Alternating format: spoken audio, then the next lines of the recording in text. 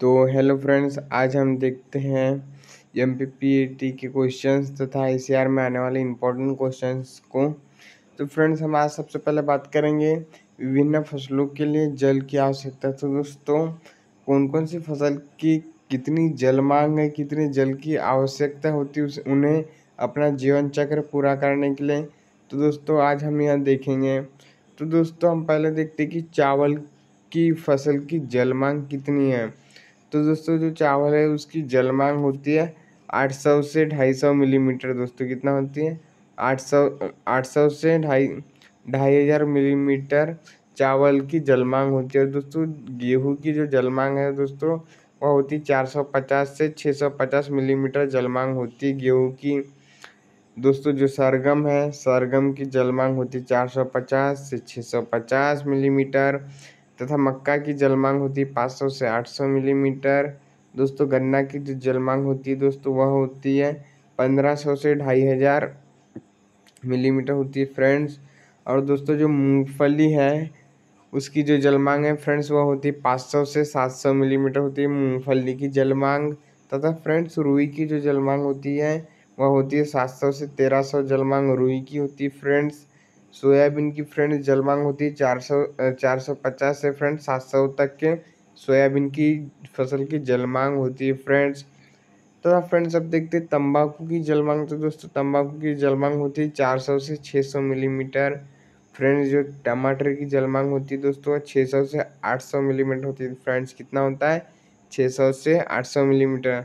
अब फ्रेंड्स हम बात करते हैं मिर्च की जल मांग की।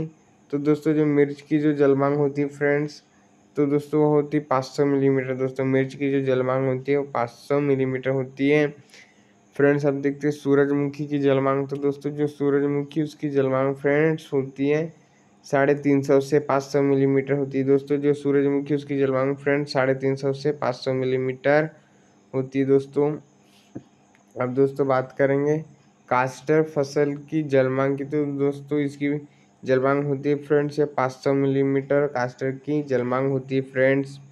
अब दोस्तों हम बात करेंगे यहीं पर ही कि बीन बीन की जो, बीन की जो जलमांग होती है दोस्तों जो बीन की जलमांग होती है दोस्तों, साढ़े तीन सौ से पाँच सौ मिलीमीटर बीन की जलमांग होती है दोस्तों।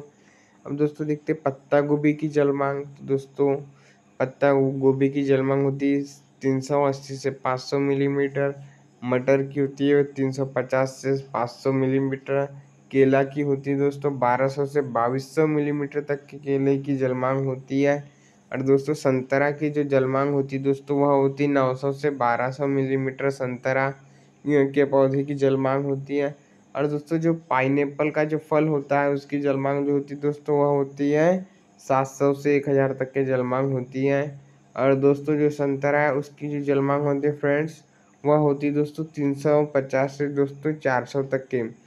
तो दोस्तों ये हमारा लास्ट क्वेश्चन है कि संतरा की जलमांग कितनी होती है? तो फ्रेंड्स जो संतरा की जलमांग होती है दोस्तों, वह साढ़े तीन सौ से चार सौ तक होती है। अब दोस्तों यह एक इंपॉर्टेंट क्वेश्चन है जो पेपर में आ सकता है एम पी के, कि सबसे ज़्यादा जलमांग वाली फ़सल कौन सी है? तो दोस्तों जो सबसे ज़्यादा जलमांग वाली फ़सल है फ्रेंड्स तो वो है दोस्तों गन्ना। सबसे ज़्यादा जलमांग वाली दोस्तों जो फ़सल है, उसका नाम है गन्ना। तो दोस्तों, आज की वीडियो में हम इतना ही काफ़ी रखते हैं। मिलते हैं नेक्स्ट वीडियो में।